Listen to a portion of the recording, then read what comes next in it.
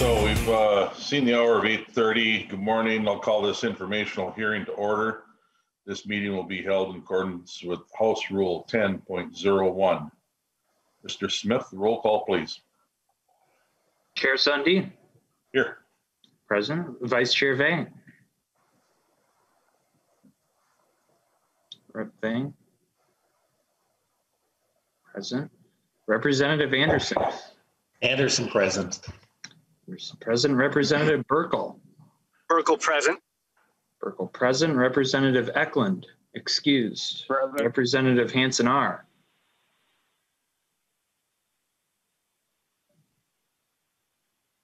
Hansen R. Representative Hanson J. See, she's on two. Representative Klevorn. Klevorn present.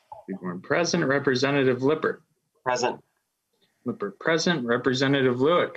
Lueck present. Lueck present. Representative Miller. Miller present. Miller present. Representative Nelson. Nelson present. Nelson present. Representative Thompson. Thompson, present. Thompson present. We have quorum, Mr. Chair. Uh, Thank you, Mr. Smith. Um, Before we get going on the agenda, I'd just like to uh, make certain that uh, the committee is aware that uh, of my gratitude for the staff that's uh, weighed in on this. Uh, Not only Mr. Smith and uh, uh, Nancy Connolly, um, but um, all the uh, governor's staff, the uh, department staff that uh, has helped out with this bill. And uh, uh, if you ever get a chance, personally thank them for their work. So, uh, this is an overview. So, uh, as a reminder, the House and Senate Conference Committee on Senate File 958 wrapped up at the end of the session and has been signed into law. But it just included language items that uh, we agreed to. So, most of the language items uh, were included in that bill. Senator Westrom and I and the administration continued to work on the budget over the past weeks, seeking input from others as appropriate. Before you, you today is the result of uh, those discussions, a chair's agreement that we hope each body will fully support. Like any conference committee agreement, this chair's agreement rep- represents a compromise reached through give and take. Both sides took provisions that weren't were they weren't particularly wild about and uh, didn't get everything they wanted either. So uh, both sides moved to reach this compromise. There's some disappointments that some House positions uh, didn't make it through, like market bucks, the provisions on treated seeds, and climate smart farms. We fought hard for these, but it takes both sides to agree to put something in. And unfortunately, these were left by the wayside overall, this is a really good bill. Uh, firstly, it honors a commitment to the basics of what needs to be done through the department, the Board of Animal Health, and the Agriculture Utilization Research Institute. It invests in opportunities to develop new markets. It supports continuing efforts that help address climate change and soil health and water quality. And it also looks to the future to ensure that we have a rich and growing diversity of farmers equipped to contribute to our communities and economy. As noted before, this is an informational hearing. No votes will be taken. We don't have uh, possession of the bill. The purpose of this hearing is for members and the public to learn about what is in the agreement. So by the time the bill is voted on, we are fully informed. The public had the opportunity to submit written testimony until Sunday, the 13th, 2021 at 5 PM. Was posted on the committee website.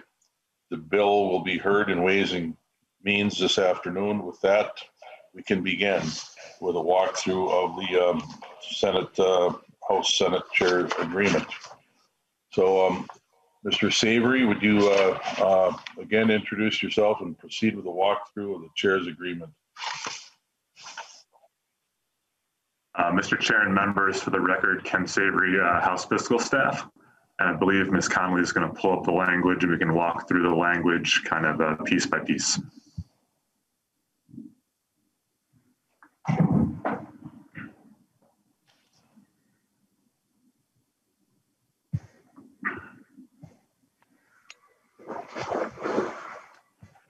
So chair and members, just starting briefly, you'll see the um, total appropriations for the Department of Agriculture um, just on lines one, 1.24 and then moving downwards to 2.3 and then the standard appro- appropriation from the remediation fund for the voluntary cleanup program on 2.4. And then we'll start with our first division, which is on subdivision two. Um, you'll see appropriations on 2.11 and 2.12. The appropriation from the general fund on 2.11 is $19,384,000. And then in FY '23, $19,610,000. Um, the first rider um, is on 2.17 from the general fund. That's $175,000 a year for the crippled livestock or the wolf depredation funding. Um, this funding remains unchanged and includes on line 2.26 the $5,000 designation for the university extension um, to confirm uh, animals that were crippled or destroyed. And then moving down onto the, moving down further, the next item is on line 3.1, which is $155,000 a year for the uh, elk depredation or crop damage appropriation. That appropriation remains unchanged. And then on line 3.7 um, is an additional designation that the commissioner may use up to $10,000 um, to reimburse expenses incurred by the commissioner or commissioner's agent um, to resolve claims. And then additionally on line 3.13, you'll see additional language um, of $20,000 to make grants for producers for measures to protect stored crops. And so we'll move down a little further and we'll see some of the changes that were in the chair's agreement beginning on line 3.23. And that's $225,000 each year for the noxious weed um, program. And you'll see on line 3.24, you'll see the term additional funding. And many of these riders and protection services use the term additional funding to describe the increase for a particular appropriation. So this is the $225,000 increase each year for the noxious weed program. And on line 3.26, you'll see $50,000 for the industrial hemp program, a one-time appropriation. The funding is available till June 30th, 2023. And on line 3.31, this is $10,000 $110,000 each year for additional meat and poultry inspection services. This also receives an $110,000 federal match, um, as is designated on the spreadsheet. And so moving down a little further, we'll see on line 4.3, this rider is slightly different in that this rider uses the existing rider that was in the 2019 omnibus ag bill.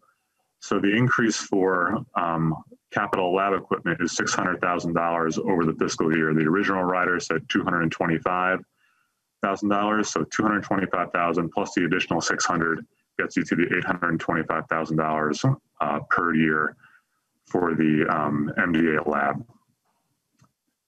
And then on line 4.7, you'll see a couple, uh, several of these riders throughout the um, throughout the bill, which designate the administrative increase for the department. So in this case, for this division, it's $274,000 in the first year and then $550,000 in the second year.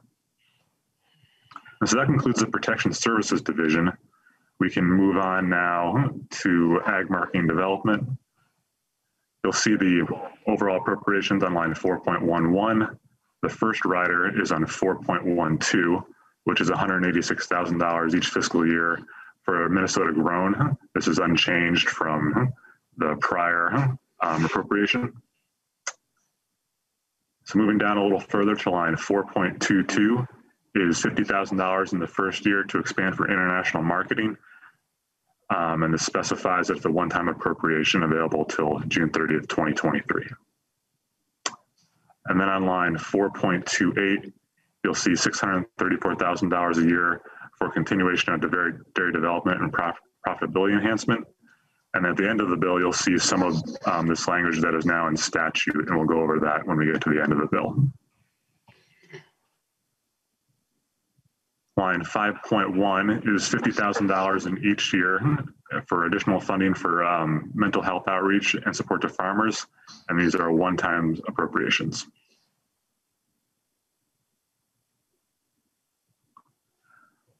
Then on line 5.17 is $100,000 in each fiscal year for farm safety grants. And these are one-time appropriations as well.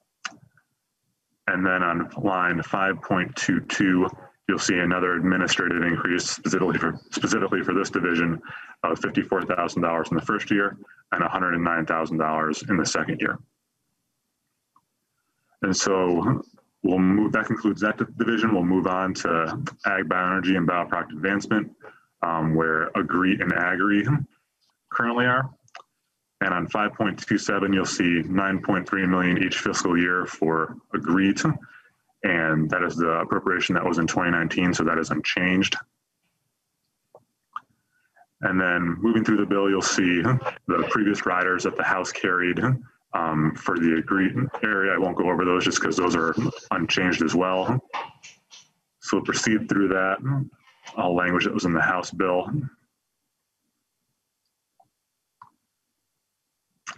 And then we'll see um, some new language in line 6.22 regarding some reporting for potato breeders and wild rice, referring to the chairs. Um, an update of the status of the research and the related accomplishments for that research um, for potato breeding and wild rice.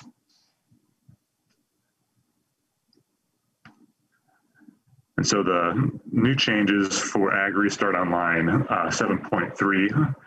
So the new appropriation for Agri is $16,028,000 in each fiscal year.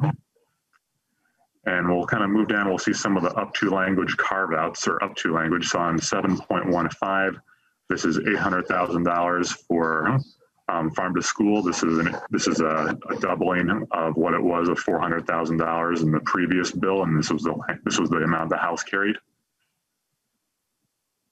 And then we'll see on line 7.25, uh, $600,000 for urban and youth agriculture. This was an increase from $300,000 a year. And then we'll see on line 7.28 of that amount, um, 10,000 each year will be transferred to the emerging farmer account under Minnesota statutes and the references there. And we'll see at the end of the bill the establishment of the emerging farmer account in statute um, later um, in, in the bill. And then we'll see on line 7.32, this is an increase for the Good Food Access Program. The up to language now specifies that $450,000 each year can be used for good food access. And that is an increase of $150,000 um, each year for good food access over the previous language.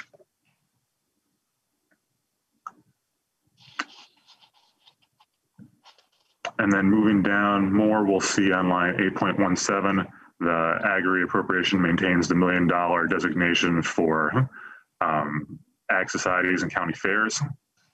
And then we'll see on line 8.21, which is um, $4.5 million each year for the incentive payments program. And that is a $1.5 million increase over the previous rider language. So it went from 3 million to uh, 4.5, so a $1.5 million increase increase there. And then on line 8.34, we'll see $3 million each year for um, petroleum dispensers, fuel storage tanks, and our equipment to dispose of biofuels. So this is the um, biofuels infrastructure appropriation that the governor carried and the House carried. The primary difference is that um, the House bill had this outside of Agri, so a separate appropriation. But in the chair's agreement, this is now contained within the Agri program. So it's now carve out of the larger Agri appropriation. So on the spreadsheet, you see brackets designating $3 million each fiscal year for the biofuels infrastructure program.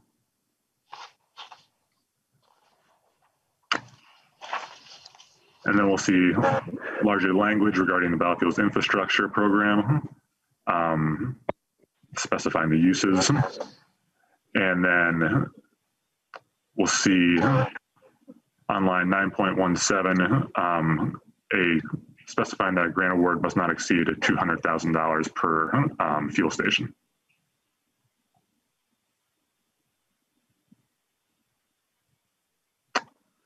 And then we'll see um, reporting language on line 9.30. And then, let's see here, regarding a report back to the committees of the progress of the infrastructure program.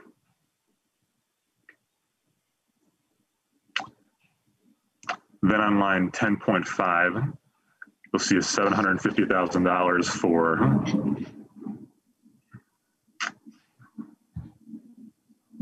$750,000 for the um, livestock processing um, within the agri program, and these are one-time designations. And this was paid for with general fund cash from the target. And then on line 10.16, you'll see $1.4 million each fiscal year for um, livestock investment grants. And then both this appropriation and the one I previously spoke to on line 10.19 um, has language that any un- unencumbered balance at the end of the year does not cancel and may be used for other purposes in this paragraph. And again, this is a one-time appropriation for livestock investment grants. And then on line 10.32, um, you'll see resetting the base for the agri program at $16,553,000 um, and 24 and 25 that recognizes an increase in the tails. And then you'll see statutory references on line 10.0, excuse me, 11.1 to 11.3 regarding the siting incentive program. And then finally, regarding this section, you'll see on line 11.4 to 11.6, $15,000 increase for um, administration and then 20, $29,000 increase in the second year for maintaining current level of service. So that concludes the agri and agri um, program sections. And then we'll move on to subdivision five, which is admin and financial assistance. You'll see the appropriations for this section on line 11.8. And we'll start on uh, 11.9, which is the $474,000 a year for um, county ag societies. Um, this is unchanged. We'll move down to line 11.19, which is an increase to the farm advocates, uh, farm advocate service. And so the new appropriation is $387,000 the first year and $337,000 the second year. And of this amount, a 100,000 in the first year and 50,000 the second year are for creating farmland access teams um, for potential beginning farmers.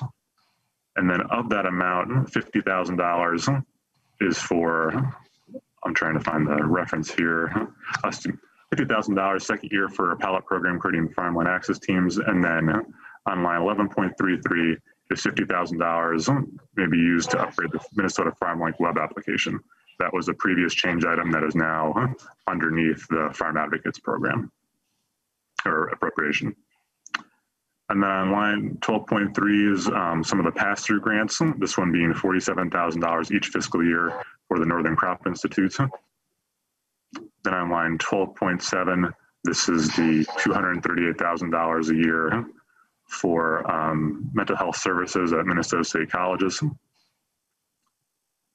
And then line 12.16 represents a $50,000 increase for farm to food, or excuse me, um, Second Harvest Heartland, which is now $1.7 million in each fiscal year. And it's a base appropriation or a base increase. And then there's language um, designating how the funds uh, should be used.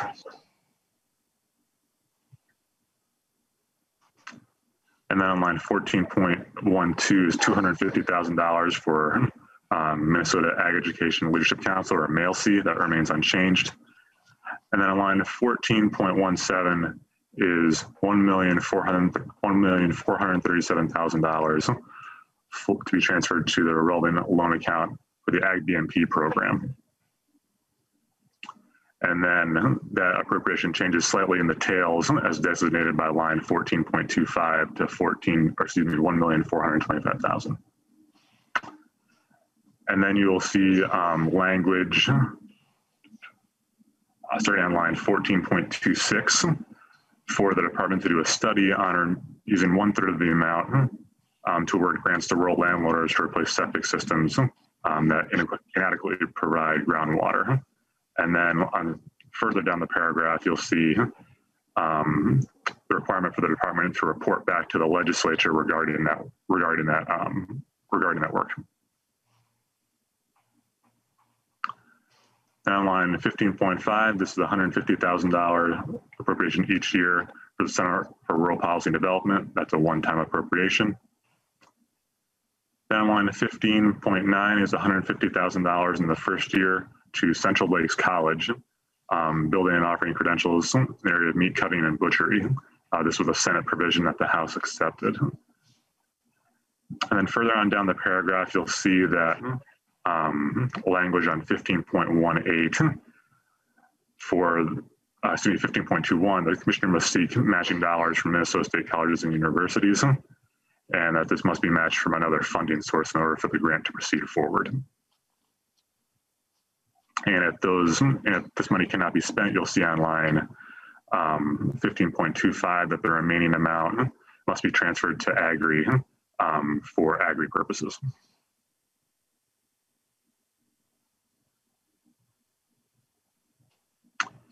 You'll see on line 16.12, which is $2,000 each fiscal year um, for the Minnesota Poultry Association. This is slightly different than the rider typically has been in the past, which moves all the funding to the first year, um, but makes the funding also available in the second year. Then line 16.19, $17,000 in each fiscal year to the Minnesota Horticultural Society, and this is a one-time appropriation. Then on 16.23, $18,000 each fiscal year to the Livestock Breeders Association, um, another one-time appropriation. Then on line 16.31, $25,000 in the first year or each, each fiscal year for the Southern Minnesota Initiative Foundation. On 17.5, $75,000 in each year to Greater Mankato Growth or GreenSeam, uh, one-time appropriation. On 17.11, uh, $75,000 in each fiscal year to the Turf Seed Council.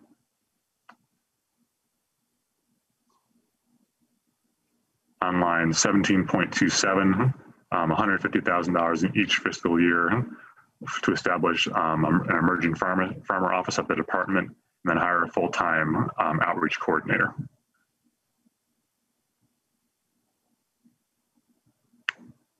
And then specifically on line 18.2 of the amount appropriated for the $150,000, uh, $25,000 is for translation services for farmers and cottage food producers.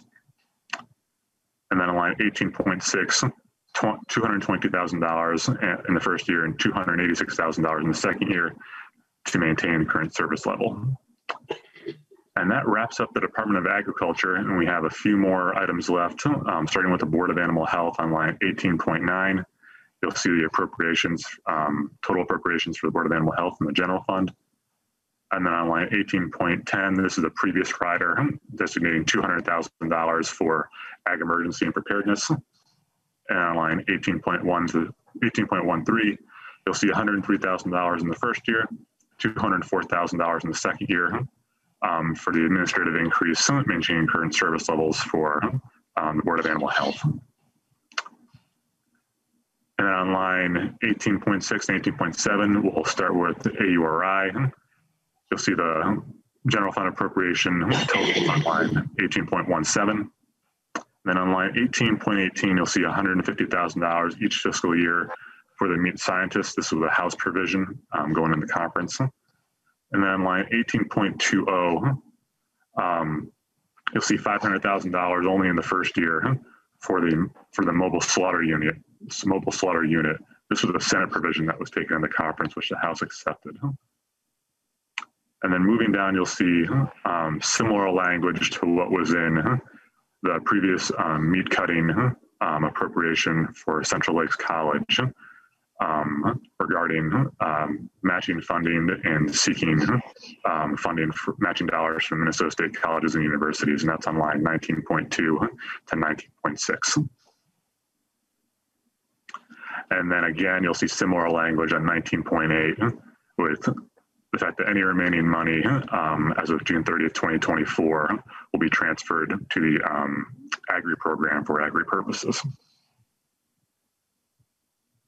And then that concludes the appropriations of the bill. There's some language left regarding on 19.223 that establishes the emerging farmer account for the $10,000 to be transferred in um, out of the um, urban and youth ag appropriation within agri. And then you'll see on line 19.28, this is the statutory um, dairy development and profitability enhancement language that was um, taken from the rider and now included in the statute.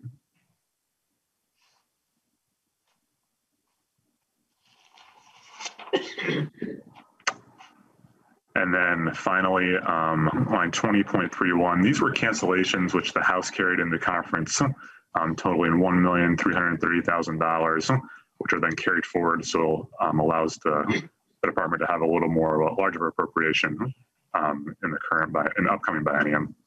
And then finally on 12 point, or sorry, 21.12, um, these are the appropriations for the um, DEED office of broadband. And as you'll see on line 21.27, this is um, just the base for the, um, just the base for the office. This doesn't include any additional fundings uh, for grants um, for that purpose. So just establishing the base and maintaining the base appropriation. And Sharon members, I believe that wraps up the language. I would um, offer if Mr. Sullivan has any comments on things I missed or didn't um, quite clarify, but I think that should um, wrap up the appropriations. Thank you, Mr. Savary. Um, Mr. Sullivan, do you have anything to add? Mr. Chair and members, I, I don't have anything to add, but I'm happy to help uh, Mr. Savary answer questions. Okay, terrific. Thank you very much. Uh, uh, Are there any technical questions for uh, Mr. Sullivan or Mr. Savary? Okay, uh, Representative Anderson, please. Thanks, Mr. Chair, and thanks for that uh, report, Mr. Savary. Uh, Just curious, I'm very glad to see money in the, in the bill for E15 infrastructure, but uh, wish it could have been taken out of the general fund, not out of Agri. So my question to you is, how much of the Agri fund is earmarked now by the legislature? Either Mr. Savary or uh, whoever can answer that question. Mr. Savary? Yeah, uh, Mr. Chair and members, in the, in the, in the larger spreadsheet that was included in your packet, um, there's a line that lays out the designated expended, excuse me, the designated spending for agri. So for example, um, in total, the, in FY 22, 23, the entire agri appropriation is $32 million, is 32 million, uh, $56,000. About $56,000. And of that amount, um, twenty-one million, three hundred thousand dollars is, is designated spending. So that is, that would include the county fairs, bio incentive payments, um, biofuels infrastructure, uh, livestock processing, and the livestock investment grants. Thank you. Representative Anderson? Yeah, just a couple more questions, Mr. Chair. Thank you. Um, It seemed like uh, a lot of the, the language in the bill that talked for additional funding to maintain services was, was higher, in some cases double the amount in the second year. Why is that second year so much higher than the first year of the biennium? Mr. Savary? Uh, Mr. Mr. Chair and members, I think that would probably be better answered by the department. I understand Commissioner Petersen is available and staff would like to take that one. Can you, sorry, can you restate the question? I, I didn't quite understand the uh, gist of it. Yeah, Mr. Commissioner, in the bill language, in, in several instances, when it talks about funding to maintain the current level of service, the, the second year is, is, is much higher, in some cases about double the first year. Just wondering why the, the, the big difference from year to year in that uh, continued funding for the department. Commissioner Petersen? Mr. Chairman, uh, and members of, by the way, uh, Thom Petersen, uh, Commissioner of Agriculture. I believe you're talking maybe about our operating adjustments, and I might see if our Deputy Commissioner Andrea Vaubel wants to address that, uh, perhaps. Commissioner Vaubel?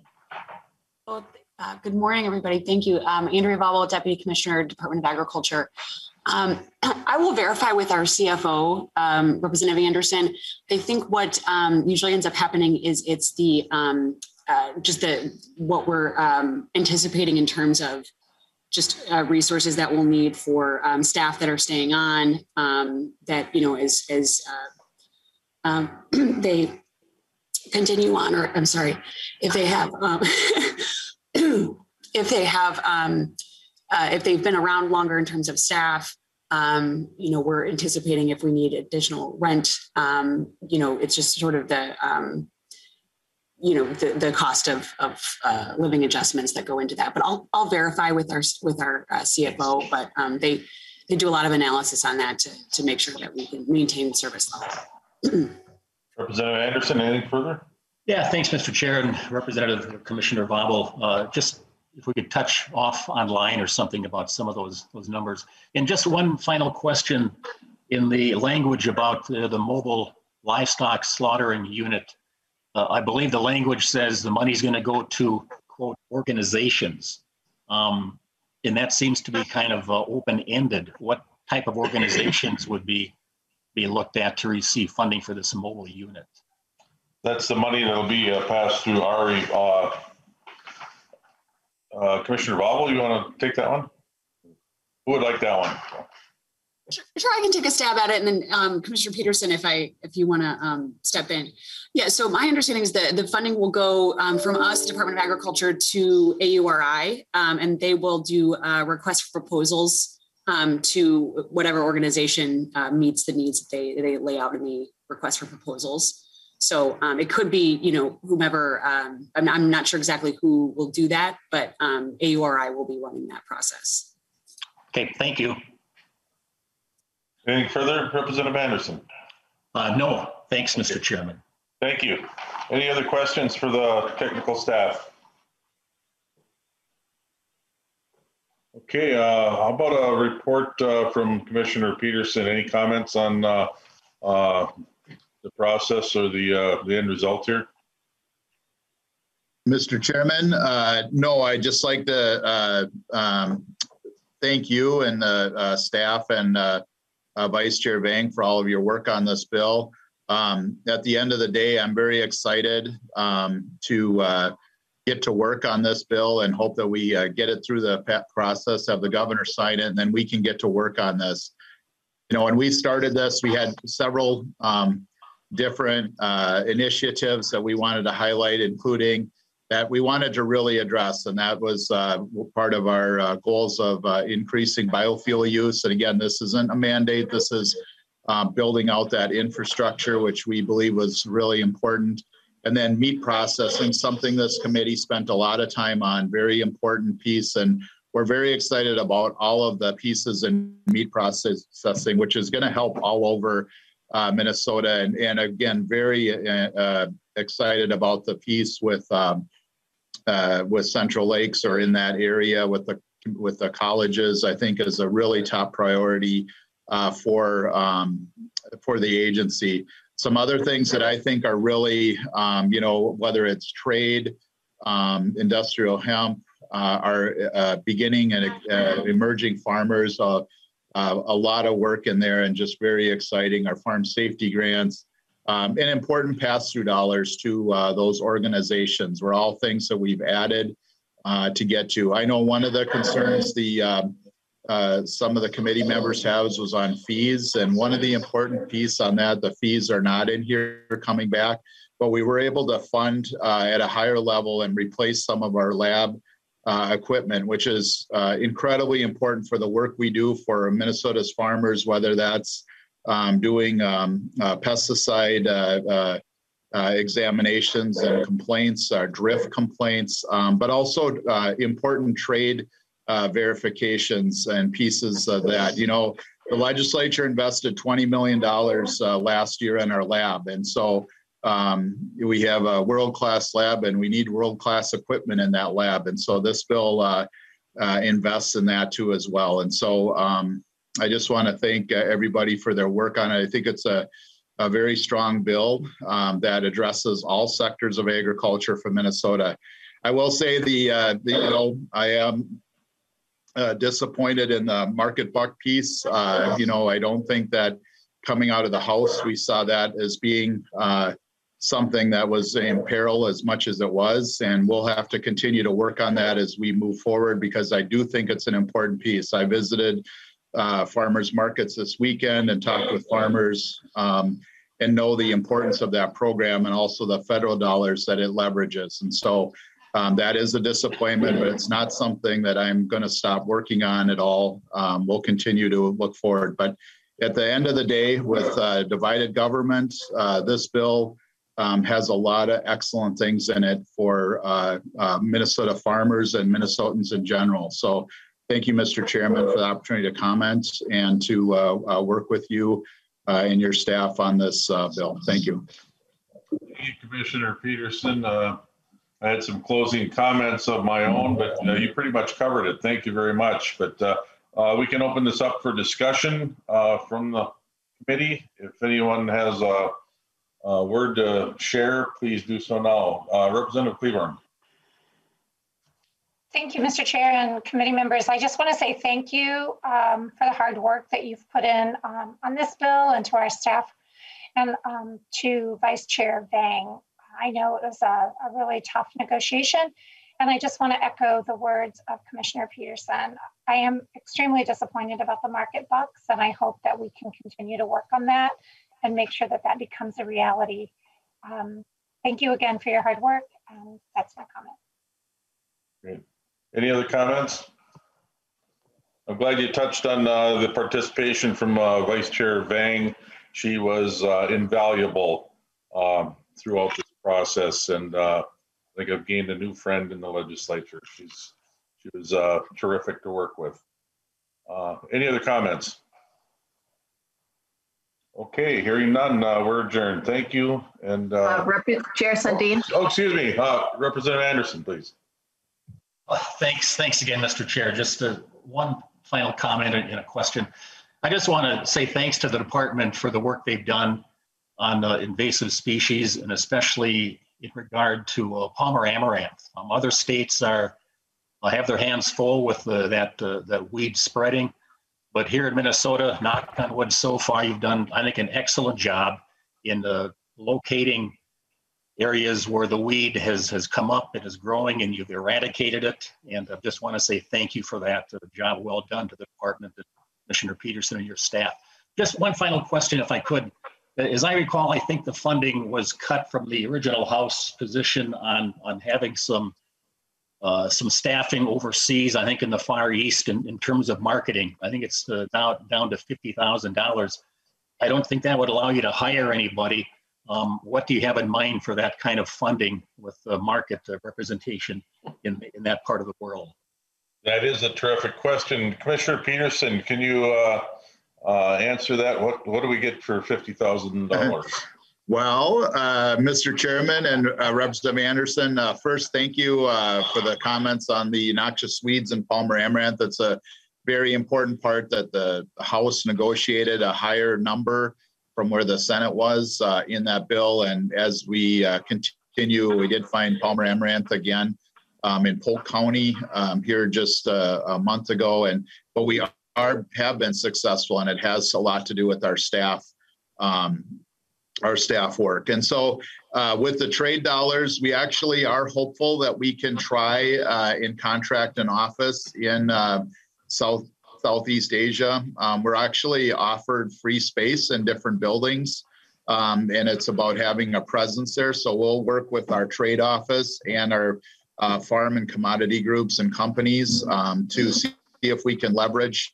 Uh, it's kind of our hope as uh, the as the world opens up and uh, in-person visits become more and more important. Uh, we have an opportunity um, to do something there, and we do think that uh, we're hopeful that we can use that money to leverage, continue to min- um, make Minnesota a top uh, uh, trader in that southeast market. You know, Minnesota has a not just abundant crop, although we need rain desperately.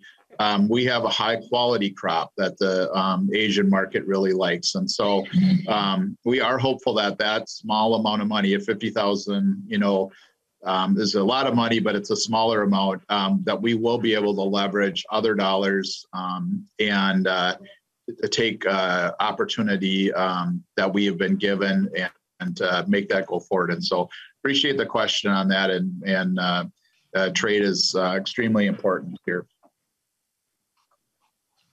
Commissioner. Any other questions, comments? Okay.